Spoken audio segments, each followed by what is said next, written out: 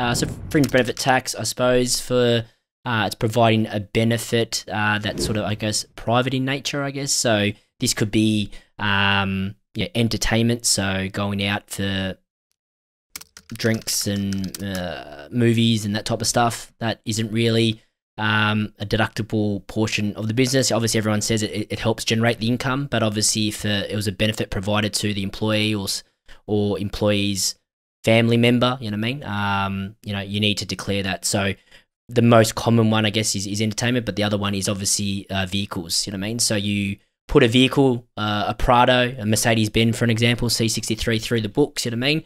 You claim your expenses that uh, are occurred for operating the, that vehicle, um, but at the end of the year, you need to do an FBT return to work out, you know, the private consumption of it, add it back in to get the true deductible, um, you know, outcome or deduction against that income that that's entitled to that business. You know what I mean? Rather than just claiming 100% when you're not entitled to 100%. You know what I mean? So FBTs are done on a 1st of April to the 31st of March. So we've just closed out the FBT year right now. So we've sent out to our clients to get their odometer reading in and, and tidy that up so we can get their FBT returns lodged. Um, that's sort of gone unnoticed with the ATO for a while. And as is previous um, episodes, you can see the ATO is going really hard now on on a variety of things, be super, um, director penalty notices, um, payment plans, all this type of stuff. So FBT is next, one of the next ones on the list um, because they can see what's registered through Vic Roads and everything that to to a to a business.